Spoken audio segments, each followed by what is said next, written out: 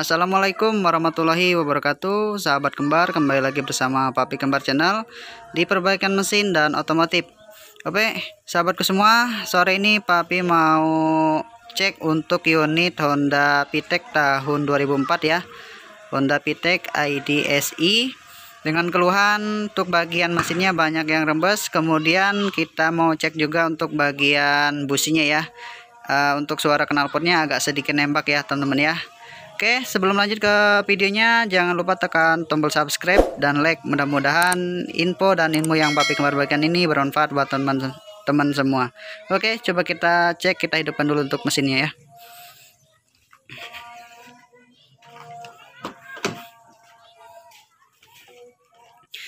Nah, jadi di sini uh, suaranya agak sedikit nembak-nembak ya, teman-teman ya. Jadi Papi pernah ngecek untuk uh, getaran mesinnya kadang-kadang dia tidak normal ya jadi agak sedikit pincang oke kita cek dulu. Coba kita panaskan dulu untuk bagian mesinnya ya. Oke teman-teman. Uh, di sini untuk suara knalpotnya uh, tidak begitu ini ya. Tidak begitu terlihat untuk bagian nembak-nembaknya. Jadi ini mungkin masih terlalu dingin untuk bagian mesinnya ya. Ini Honda Pitek IDSI tahun 2006 oke teman-teman kita lanjut saja untuk bagian rembesnya. Kita cek untuk bagian depannya ya.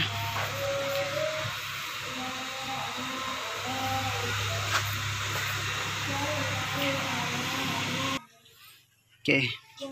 Nah, untuk bagian rebesnya teman-teman di sini kita lihat untuk bagian rebesnya itu berada pada tutup klep ya. Namun di sebelah sini atau sebelah bawahnya ada rembesan yang lebih parah lagi ya.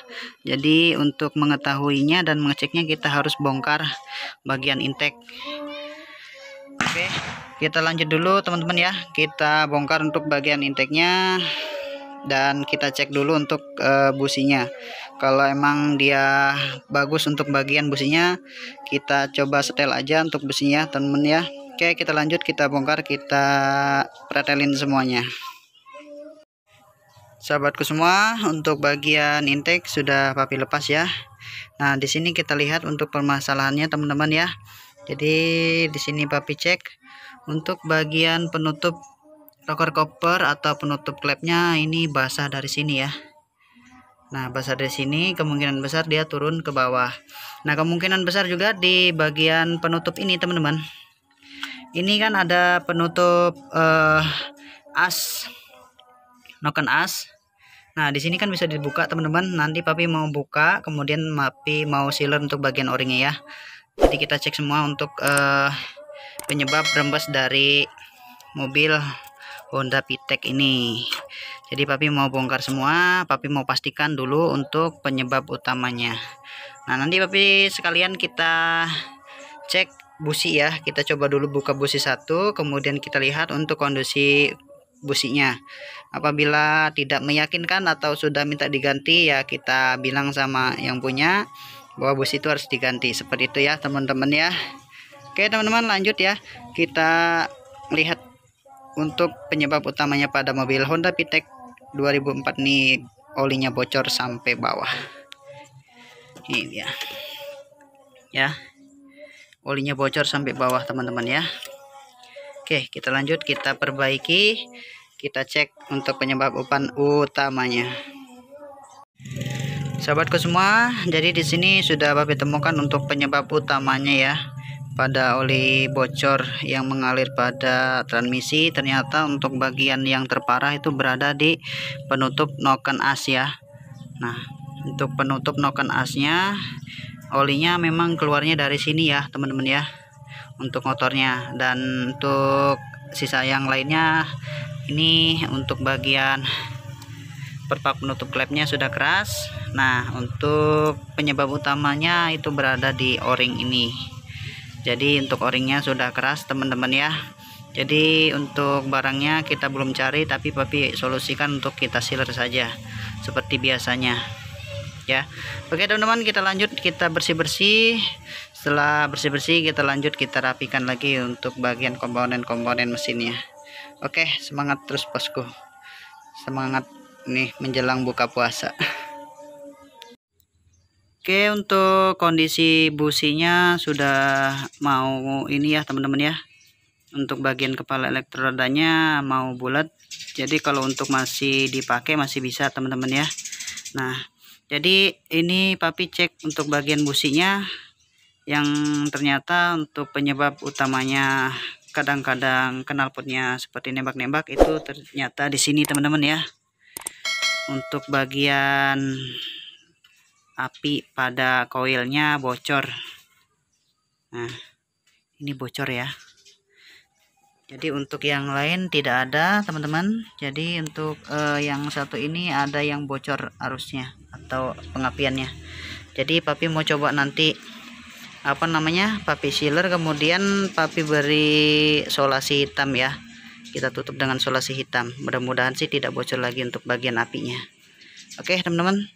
Semangat terus bosku Oke sahabatku semua kita lanjut malam ini ya jadi untuk bagian-bagiannya sudah papi bersihkan semua. Untuk bagian penutup klepnya sudah papi ganti ya. Ini maaf teman-teman ya tidak papi repair untuk uh, penggantiannya. Jadi untuk bagian tutupnya sudah papi pasang. Setelah ini kita rapi-rapikan lagi. Setelah itu kita coba hidupkan mesinnya ya.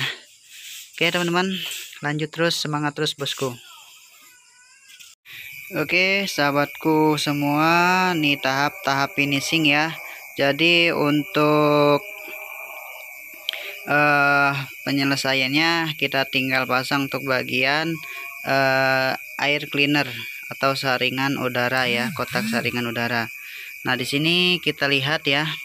Jadi untuk olinya sudah papi bersihkan ya. Kita gunakan bensin kemudian kita bilas dengan air sabun ini Alhamdulillah tinggal kita pasang ya teman-teman ya. Jadi tinggal kita pasang kita rapikan kita coba hidupkan untuk mesinnya. Oke teman-teman semangat terus malam ini. Mantap bosku. Oke teman-teman untuk pemasangannya sudah selesai ya. Tinggal pemasangan pada penutupnya. Nah untuk bagian minus aki sudah kita pasang. Setelah ini kita coba hidupkan ya ini bisa dua kali starter karena untuk bagian uh, rel pada injektornya tadi kita buka. Oke kita hidupkan dulu untuk mesinnya ya. Oke kita coba hidupkan.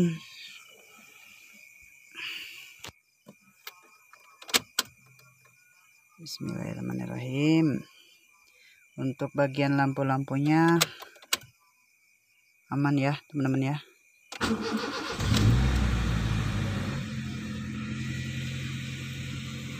Oke ini sekali hidup teman-teman ya. Jadi untuk pompanya ini langsung mompa ya. Pompanya langsung mompa pada saat kontak di on kan seperti itu. Oke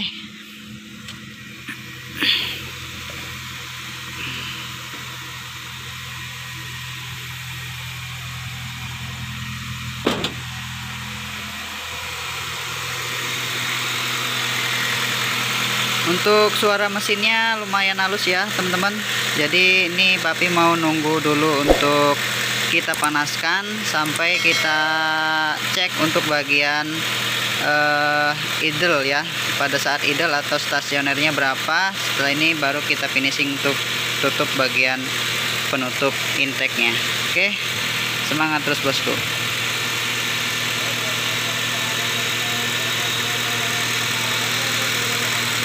Oke teman-teman di sini sudah papi panaskan ya untuk idle-nya atau stasionernya berada di 800 ya. 800 jadi untuk idle-nya sudah normal ya ada enak. Jadi tidak ada masalah lagi untuk bagian mesinnya atau stasionernya Oke teman-teman sampai ketemu lagi di video papi kembar berikutnya. Semoga bermanfaat. Assalamualaikum warahmatullahi wabarakatuh. Mantap bos